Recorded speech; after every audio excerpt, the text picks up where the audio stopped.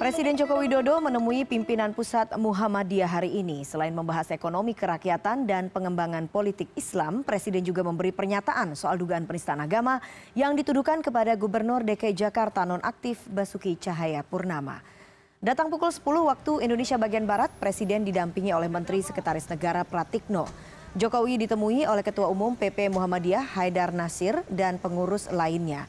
Kunjungan Presiden Jokowi kali ini membahas tentang ekonomi kerakyatan. Pimpinan pusat Muhammadiyah mengusulkan untuk dilakukan kerjasama pengembangan politik Islam sehingga bisa memberikan ruang politik bagi umat Islam. Sementara itu terkait dengan kasus dugaan penistaan agama, Presiden Joko Widodo berjanji tak akan melindungi Basuki Cahaya Purnama.